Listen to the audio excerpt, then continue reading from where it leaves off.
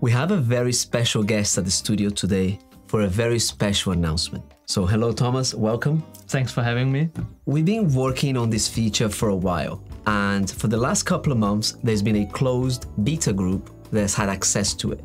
But today, we're rolling it out to all pro users. It's called AI extensions, and it's a brand new way to interact with the thousands of extensions that are already available in the store.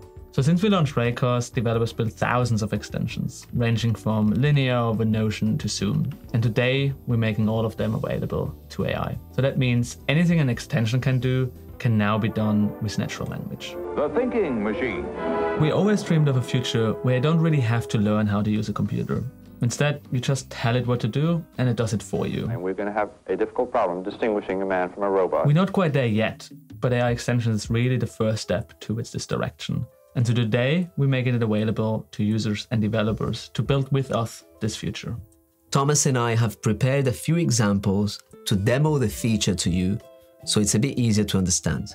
But before we show them to you, I just want to talk about how you can find and install these extensions today. Just like with regular Raycast extensions, all you have to do is go to the store and search for what you want. You'll notice that some of the results will have this little star symbol next to them. That means that this extension has been enhanced with AI. And you can also use this little drop down up here to filter to only show AI extensions. As of right now, we've been working hard to prepare 50 AI extensions that are ready to use.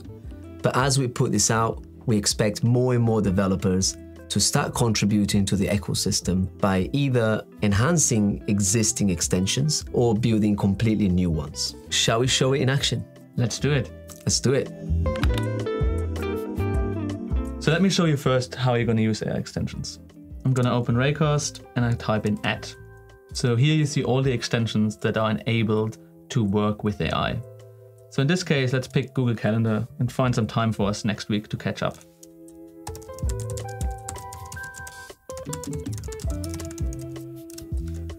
So now AI goes out, looks through AMI, checks your contact details, checks our availability, and finds a slot that works for the both of us.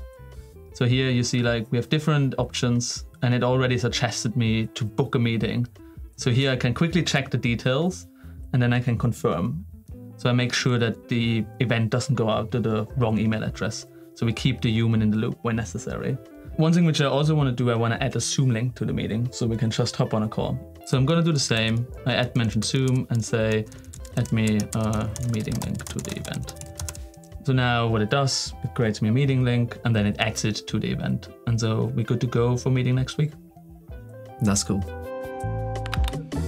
Calendar events is something that I do very often. So I want to make that a bit faster. So what I did for myself, I created a meeting assistant, which is a chat preset, which is pre-configured with our AI extensions. So if I jump in here, what I can do is I can just quickly type in what I want to do and it picks up that even faster.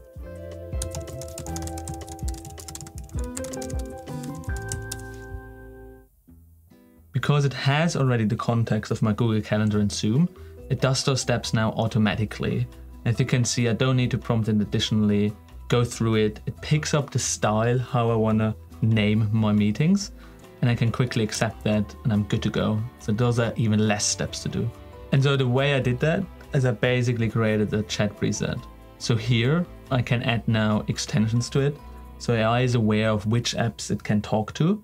And I also described how I want to have my meetings named. So for example, I like this double arrow. So I want to make it personal. So the meeting title is how I would create it.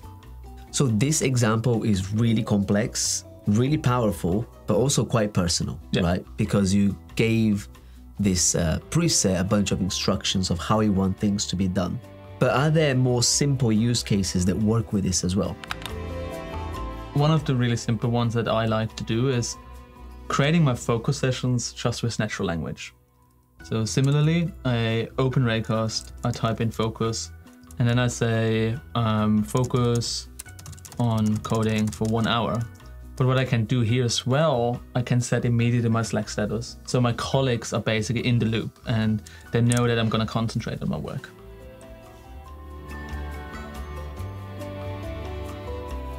So what's cool about this one is it does two things at once.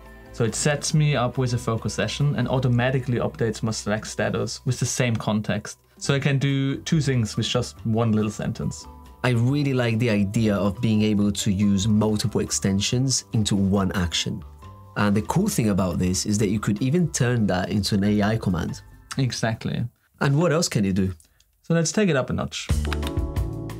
The nice thing about Raycast, it sits on your operating system, so it integrates with all the apps you have. So here we have Granola, which is an app that can record your meetings, and we have the transcript. So I simply select all the text here. I say send selection to AI chat. And now I'm gonna pull in the Linear AI extension and ask it to create follow-up items for me.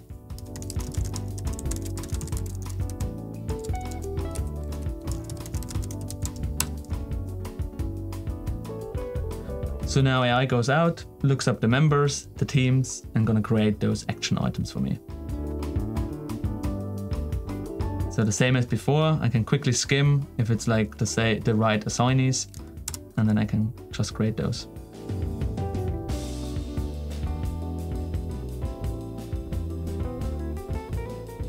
That's very cool. Yes. That was cool. All right, these are some really cool examples, but I'm very curious to see what you're going to create with AI extensions.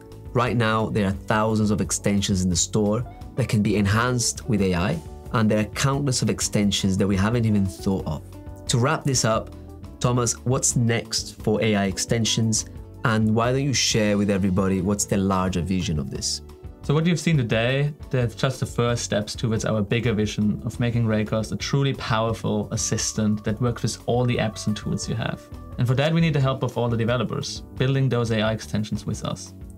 It's early days and we're launching it today in beta, but we're super excited to see what you build. But also AI is unpredictable and we're gonna need your contributions and your feedback to make it reliable, fast and accurate.